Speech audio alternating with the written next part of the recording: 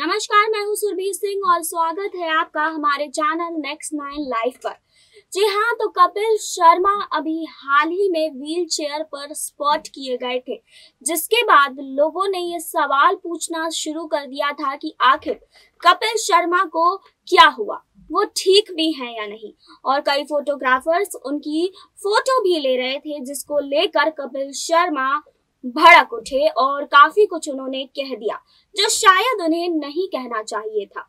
और इसी बात से आपको बता दें कि कपिल शर्मा के बिहेवियर को लेकर बहुत बातें हो रही हैं।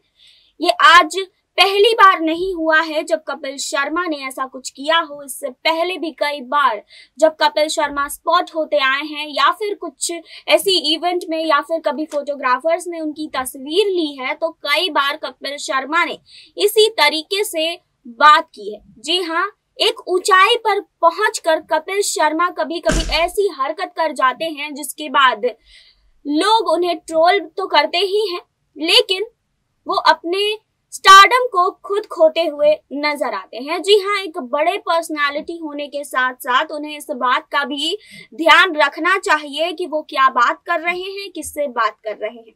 जी हाँ लोगों ने उनकी भलाई के लिए कई सारी चीज़ें लिखी कमेंट्स किए, लेकिन आपको बता दें कि उनका ये बिहेवियर देखकर कई लोग दुखी भी हुए हैं और अपने करियर में उन्होंने ऐसा काम किया है, ये काम किया है कि लोग उन्हें तरह तरह की चीज़ें बोल रहे हैं। आपको बता दें कि कपिल शर्मा के लिए कई लोग दुआएँ भी कर रहे थे कि जल्द से जल्द कपिल शर्मा ठीक हो जाए। आपको बता दें कि जिम में उन्हें चोट लगी थी, ज़्यादा गंभीर चोट तो नहीं आई थी, लेकिन थोड़ी बहुत उन्हें चोट लगी थी, जिसके कारण वो एयरपोर्ट पर व्हील चेयर पर स्पॉट किए गए थे।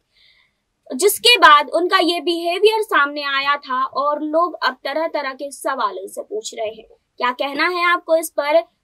हमें कमेंट बॉक्स में ज़रूर बताइए, जुड़े रहिए हमारे साथ नेक्स्ट नाइन लाइफ से। सुरभि की रिपोर्ट लाइक करें सब्सक्राइब करें और बेल आइकन दबाना बिल्कुल ना भूलें।